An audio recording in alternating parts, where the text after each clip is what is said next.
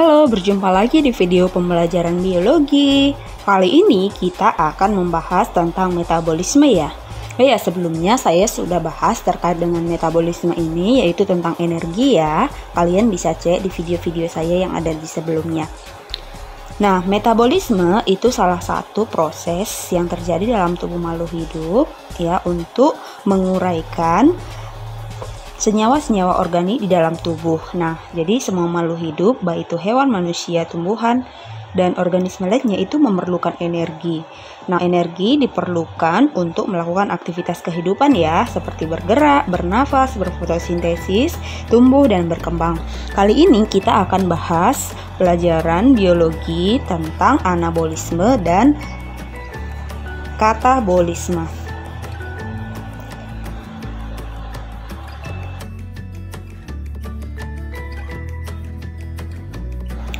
Nah, yang pertama itu katabolisme. Nah, katabolisme merupakan suatu reaksi penguraian senyawa yang kompleks menjadi senyawa yang lebih sederhana dengan bantuan enzim. Katabolisme ini berfungsi untuk menghasilkan energi. Nah, contoh-contoh dari katabolisme adalah respirasi. Respirasi yaitu pengur proses penguraian bahan makanan yang menghasilkan energi.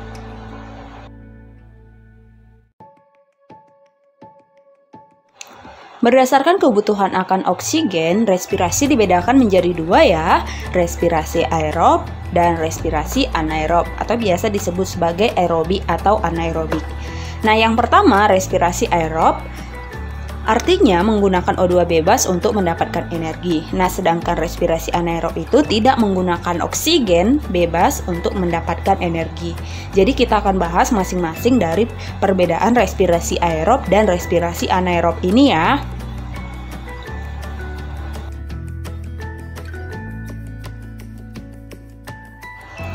Oke, yang pertama katabolisme kar karbohidrat. Katabolisme karbohidrat ini adalah proses penguraian atau pemecahan karbohidrat untuk menghasilkan energi dalam bentuk ATP. Nah, contohnya itu adalah respirasi dengan glukosa sebagai bahan baku ataupun biasa disebut sebagai uh, substratnya yang diuraikan menjadi CO2 atau karbon dioksida dan H2O atau air serta menghasilkan energi. Nah, respirasi aerob secara sederhana Reaksinya itu adalah seperti yang ada di gambar ya, C6H12O6 ditambah 6O2 menghasilkan 6H2O ditambah 6CO2 dan ditambah ataupun dihasilkan 675 kilokalori.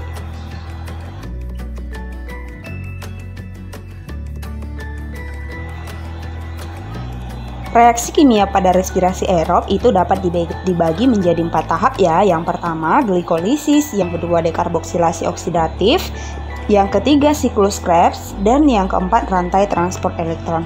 Kita akan bahas masing-masing dari tahapan ataupun pembagian dari respirasi aerob ini. Yang pertama glikolisis. Glikolisis merupakan peristiwa penguraian satu molekul glukosa menjadi dua asam piruvat, NADH dan ATP. Nah, NADH ini itu biasa disebut sebagai nikotinamida adenin dinukleotida hidrogen. Glikolisis ini berlangsung di dalam sitoplasma. Nah, Tadi kan saya sudah jelaskan bahwa substrat dari proses respirasi aerob ini adalah glukosa, itu ada pada tahapan glikolisis. Nah, satu molekul glukosa itu akan menghasilkan atom atau molekul 6C berubah menjadi 3C ataupun piruvat sebanyak dua molekul. Artinya yang dihasilkan itu adalah dua molekul asam piruvat. Nah, dihasilkan juga energi total ada 4 ATP. Kemudian dua molekul NADH akan ditransfer ke rantai transport elektron. Nah, satu NADH, satu NADH itu berlangsung secara tidak langsung, sedangkan ATP itu berlangsung secara langsung. Nah, kalian perlu tahu bahwa hasil akhir dari proses respirasi aerob ini kan tadi berupa ATP. Nah, NADH itu harus kita ubah menjadi ATP supaya kita nanti tahu berapa jumlah energi yang dihasilkan. Satu NADH itu sama dengan 3 ATP ya satu NADH sama dengan 3 ATP berarti di glikolisis itu dihasilkan secara langsung 2 ATP nah kemudian 2 NADH 2 NADH sama dengan 2 kali 3 sama dengan 6 ATP. Ya, jadi dalam tahap glikolisis ini dihasilkan 6 ATP.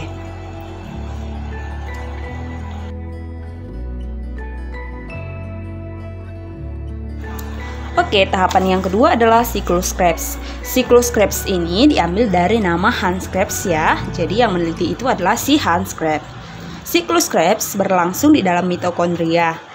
Nah, siklus Krebs mengubah asetil koenzim A menjadi asam sitrat. Nah, hasil akhir dari siklus Krebs ini adalah pirufat berubah menjadi asetil koenzim A menghasilkan dua molekul NADH karena yang terlibat adalah dua atom piruvat. Jadi yang dihasilkan juga dua molekul NADH. Nah, dihasilkan juga satu FADH dan 4 NADH. Dihasilkan satu ATP dan tiga gas CO2. Nah, jadi secara umum dapat saya simpulkan, secara langsung siklus Krebs itu menghasilkan 2 ATP, kemudian secara tidak langsung menghasilkan 6 NADH artinya 6 kali 3 sama dengan 18 ATP dan 2 FADH itu sama dengan 2 kali 2 sama dengan 4 ATP. Nah, kalian perlu tahu juga bahwa 1 FADH itu sama dengan 2 ATP. Makanya saya sebutkan tadi 2 FADH berarti 2 kali 2 sama dengan 4 ATP. Nah, total secara keseluruhan yang dihasilkan adalah secara langsung 2 ATP, sedangkan secara tidak langsung itu ada 22 ATP. Jadi totalnya secara keseluruhan ada 24 ATP ya. Itulah dia tahapan ataupun reaksi dari siklus Krebs. Seperti yang sudah saya sampaikan tadi bahwa substratnya itu adalah asetil koenzim A, kemudian hasilnya yang saya sebutkan tadi 22 sorry 20 Sebelum ke transfer elektron, kita bahas sekilas tentang dekarboksilasi oksidatif ya. Dekarboksilasi oksidatif atau rantai transisi itu merupakan reaksi di antara glikolisis dan siklus Krebs, yaitu reaksi pengubahan molekul asam pirufat menjadi asetil koenzim A, sehingga asetil koenzim A tadi dijadikan sebagai substrat di siklus Krebs.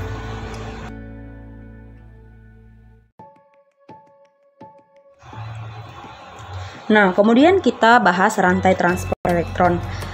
Rantai transport elektron ini terjadi di bagian krista ataupun membran dalam mitokondria.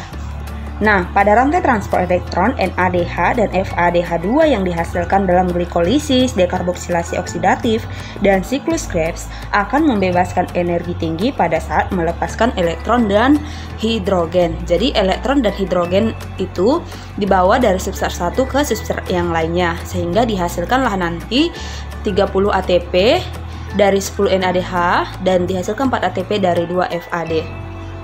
Jadi, total secara keseluruhan ATP uh, eh, yang dihasilkan pada respirasi aerob itu adalah 38. Nah, artinya dari glikolisis dihasilkan 2 ATP, kemudian secara tidak uh, langsung itu dihasilkan 6 ATP. Nah, dekarboksilasi itu menghasilkan 2 NADH sama dengan 6 ATP secara tidak langsung.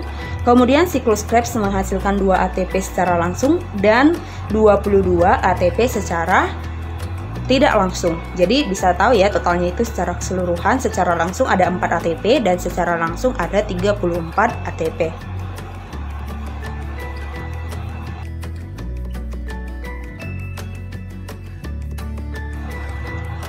Oke, tadi kita sudah bahas tentang respirasi aerob, sedangkan kita bahas sekarang adalah respirasi anaerob. Respirasi anaerob adalah reaksi pemecahan karbohidrat untuk mendapatkan energi tanpa menggunakan O2 seperti yang saya sebutkan tadi ya.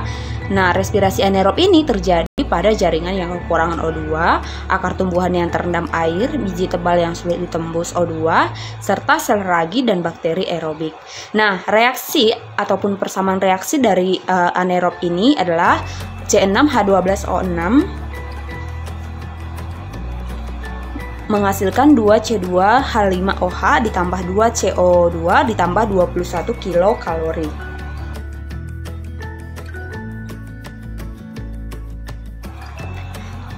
Nah, ciri-ciri lain dari respirasi anaerob itu adalah tidak memerlukan oksigen, menggunakan asam pirufat atau asetildehida sebagai pengikat hidrogen, menghasilkan asam laktat dan alkohol, hanya menghasilkan dua molekul ATP atau energi sebesar 21 kilokalori. Nah, tahapan reaksinya lebih sederhana daripada reaksi aerob.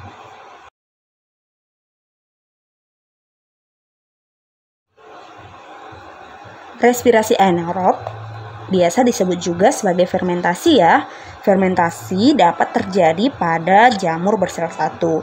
Nah, bakteri yang hidup di rawa atau lumpur yang miskin oksigen.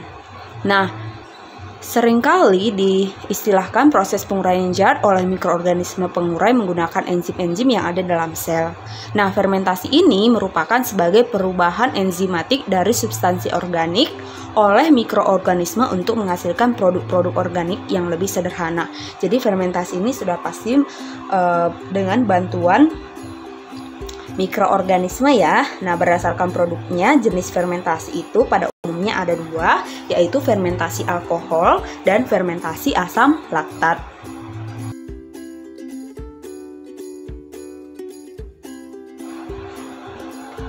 Yang pertama, fermentasi alkohol. Fermentasi alkohol itu dilakukan oleh bakteri anaerob dan ragi. Nah, fermentasi alkohol dapat terjadi pada proses pembuatan minuman juga ya, seperti anggur dan juga bisa membuat tape. Sedangkan fermentasi asam laktat itu terjadi pada sel otot hewan dan manusia ketika kekurangan oksigen. Hal ini terjadi jika katabolisme gula untuk membentuk ATP melebihi dari pasokan oksigen dalam darah. Perhatikan uh, proses ataupun tahapan dari fermentasi alkohol dan asam laktat ya.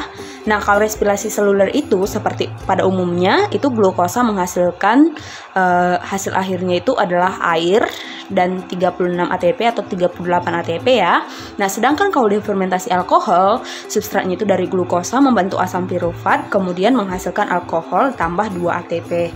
Nah, sedangkan asam laktat itu substratnya dari glukosa menghasilkan 2 asam pirufat juga dan hasil akhirnya itu adalah 2 asam laktat ditambah 2 ATP juga. Nah, jadi ini dia perbedaan tahapan reaksi dari respirasi seluler dan tahapan fermentasi.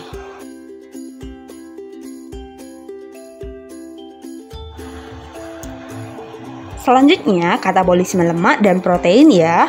Jadi, selain karbohidrat, bahan katabolisme untuk menghasilkan ATP dapat berupa lemak dan protein juga loh. Jumlah ATP yang dihasilkan dalam katabolisme setiap satu molekul protein itu sama dengan karbohidrat yaitu 38 ATP. Sementara itu, setiap satu molekul lemak dapat menghasilkan 46 ATP. Wow, ternyata lebih banyak ya ATP yang dihasilkan oleh lemak.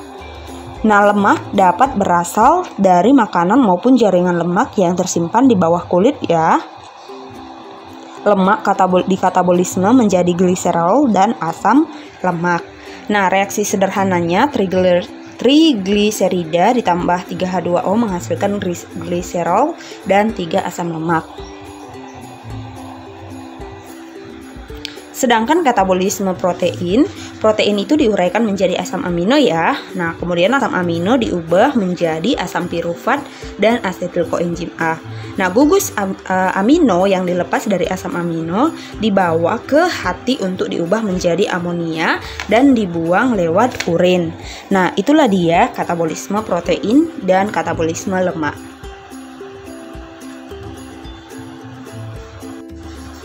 Oke, tadi kita sudah bahas tentang katabolisme ya.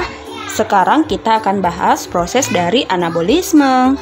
Nah, pertama kalian harus tahu terlebih dahulu apa itu anabolisme. Anabolisme itu merupakan reaksi penyusunan zat yang berlangsung dalam sel ya. Nah, macam-macam dari anabolisme itu ada anabolisme karbohidrat. Nah, anabolisme karbohidrat dibedakan menjadi fotosintesis. Kita akan bahas dulu ya yang pertama fotosintesis. Kalian sama-sama tahu ya bahwa fotosintesis itu berasal dari dua kata, foton dan sintesis. Foton artinya cahaya dan sintesis artinya penyusunan. Jadi fotosintesis itu adalah proses ataupun peristiwa penyusunan zat organik dari zat anorganik dengan pertolongan energi cahaya ataupun dengan bantuan energi cahaya matahari. Nah, asimilasi karbon karena bahan baku yang digunakan adalah CO2.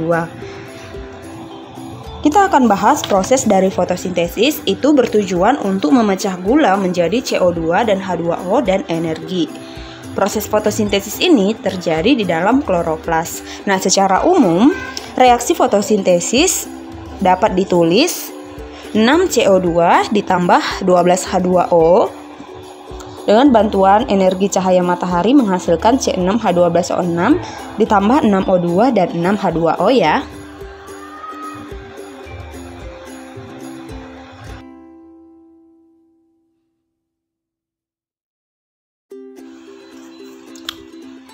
Nah, percobaan tentang fotosintesis dilakukan oleh yang pertama Jan Ingenhousz menggunakan Hydria verticulata sebagai uh, bahan dalam percobaannya. Kemudian hasilnya itu adalah fotosintesis menghasilkan O2.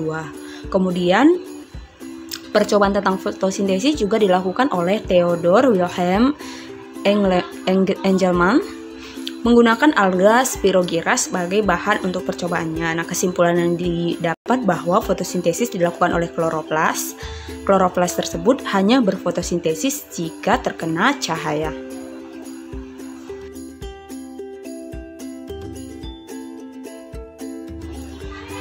Kemudian ada Julius von Seth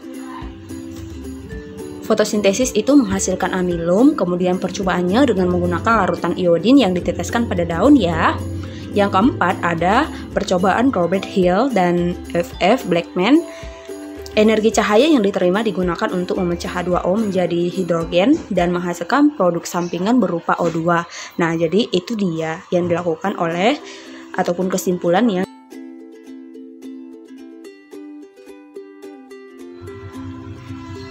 Hill mengemukakan reaksi terang yaitu fotolisis yang berlangsung dengan bantuan cahaya. Nah, kemudian reaksi terang terjadi di grana atau tumpukan tilakoid di dalam kloroflas ya. Tilakoid itu berupa gelembung pipih berbentuk cakram yang membrannya mengandung pigmen fotosintesis. Nah, Blackman mengemukakan adanya reaksi gelap yang terjadi di stroma. Jadi reaksi gelap terjadi di stroma ya, yaitu matriks kloroplas tak berwarna yang mengandung grana. Nah, persamaan reaksinya itu di sini ya. Ada juga reaksi gabungan dari Hill dan Blackman, yaitu 6 CO2 ditambah 12 H2O tambah energi menghasilkan C6H12O6 ditambah 6H2O ditambah 6O2. Nah, itulah dia perbedaan dari reaksi terang dan reaksi gelap. Sekali lagi saya ulangi bahwa reaksi terang itu terjadi di gerana, sedangkan reaksi gelap itu terjadi di stroma.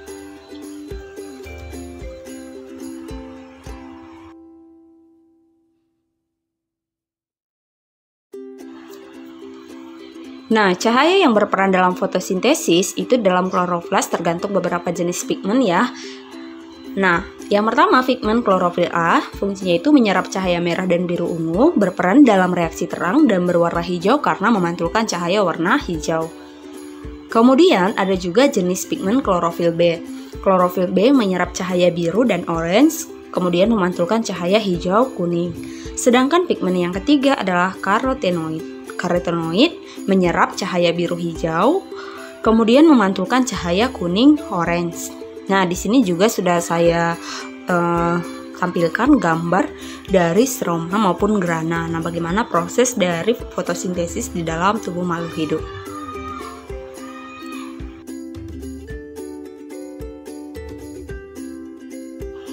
Oke, sekarang kita bahas ya tentang siklus Kelvin. Siklus Kelvin ini disebut sebagai reaksi gelap. Reaksi gelap ini dikemukakan oleh Dr. Melvin Kelvin ya, sehingga disebut sebagai siklus Kelvin. Reaksi tersebut tidak memerlukan cahaya matahari. Nah, reaksi gelap terjadi di stroma seperti yang sudah saya sebutkan tadi ya. Nah, zat yang diperlukan dalam reaksi gelap yaitu CO2, ATP, dan NADPH. Hasil akhir reaksi gelap adalah gliseraldehida 3 fosfat atau PGAL berkarbon 3. Fasenya itu ada pengikatan ataupun fiksasi CO2, ada juga reduksi dan pembentukan RUB.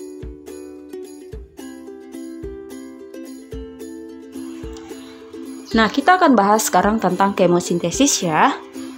Kemosintesis yaitu penyusunan bahan organik dengan menggunakan energi dari pemecahan senyawa kimia. Nah, energi yang dihasilkan lebih kecil dibandingkan dengan menggunakan energi cahaya. Contoh dari kemosintesis adalah bakteri nitrobakter dengan reaksi CaNO2 ditambah O2 menghasilkan CaNO3 ditambah energi. Nah, jadi ini adalah proses dari kemosintesis. Sekali lagi saya ulangi bahwa kemosintesis ini merupakan salah satu penyusunan bahan organik dengan menggunakan energi dari pemecahan senyawa kimia ya. Contohnya itu tadi bakteri nitrobakter yang mengikat, bakteri yang mengikat terikat di dalam tanah.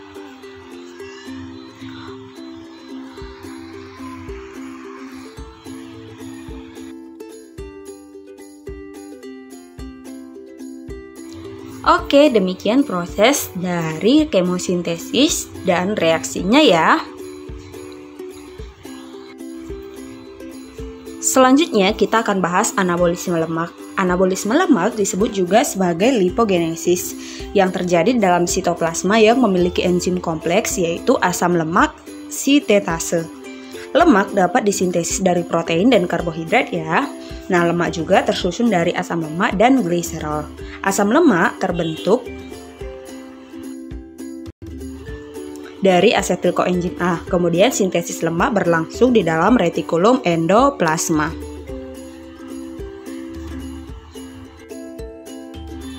Nah, selanjutnya anabolisme protein. Protein itu tersusun atas senyawa asam amino. Ada dua jenis sintesis protein, yaitu reaksi asimilasi reduksi dan reaksi transaminasi. Reaksi asimilasi reduksi di antaranya asimilasi dari asam oksaloasetat akan menghasilkan asam aspartat.